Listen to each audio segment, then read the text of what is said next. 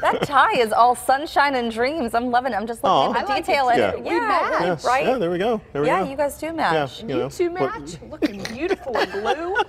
I like Rick it. wants no part of this. I wanted to bring up your tie though because it's so sunshiny. Right, right. Um, but this morning it was raining. It's just Right. kind of miserable Yeah, outside. we're see some sun though by the end of the day. Pink on the jacket also. oh, right here, this little Right, The detail. buttonhole is Lovely. also pink.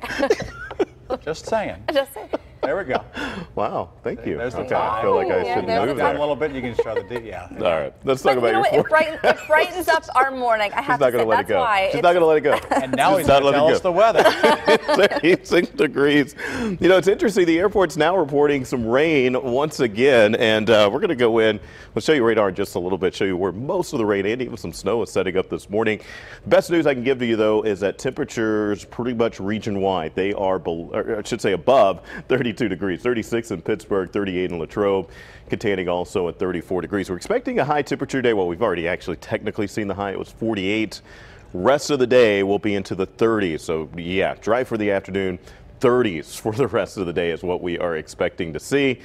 Here's what it looks like now with radar. You can see mostly snow now that that uh, line of showers is moving across those elevated areas. We started to see things cooler there with the uh, upslope and then also a couple of snow showers on the backside developing. So New Castle over into Beaver County, you're starting to see some light snow and that's actually heading towards Allegheny County.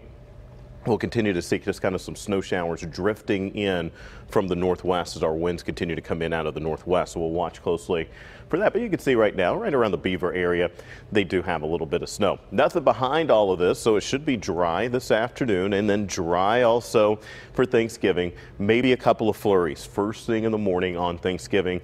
That's it. Besides that, it's going to be pretty nice. 42 your actual high on Thanksgiving, and that'll be reached in the afternoon unlike today where we'll be into the 30s for the rest of the day. Your travel forecast, here it is. Today, some slick spots possible in elevated areas. So if you're heading off to the east, we've said all along, hey, just give yourself a little bit of extra time.